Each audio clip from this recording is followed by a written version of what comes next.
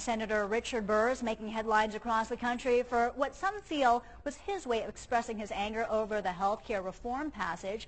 Burr derailed an Armed Service Committee hearing with top generals who had flown in from around the world for the meeting. Fox 8's Chad Tucker joins us live now with what Burr's critics are saying and if the senator is responding. Chad. Well, Burr has not said anything. We reached out to Senator Burr repeatedly yesterday and again today for comment. We wanted to give the senator the opportunity to comment on his actions and respond to the criticism he's now being bombarded with. But as the heat turns up, still nothing from Senator Burr. Even though he wanted a hearing on Pentagon needs to continue, Senator Richard Burr, using a parliamentary rule, blocked a planned Armed Service Committee hearing Wednesday. A hearing top generals had traveled from Hawaii and Korea to attend. As a member of the committee, and I side myself with the chair and the ranking member that I have no personal objection to continuing. There is objection on our side of the aisle, therefore I would have to object. It was the second day Republicans in opposition to new health care reform used the Senate rule to prevent committees from meeting, a tactic that can slow the workings of the Senate. I think it's just another example of trying to slow the process down, and we certainly um, would have been able to have held that hearing. Senator Kay Hagan sits on that committee too and was in the Senate president's chair when Burr objected. I think anytime we're dealing with our military and with our veterans, we need to realize we are at war.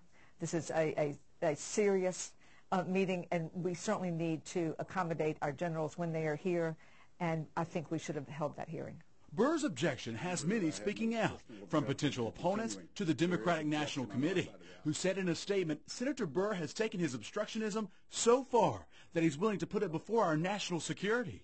North Carolina Secretary of State Elaine Marshall, one of three major Democrats running for Burr's seat in November, said Senator Burr and his Republican colleagues need to grow up. The health care vote is over, they lost, and it's time to move on to other business. For weeks, the top generals were scheduled to take part in the hearing.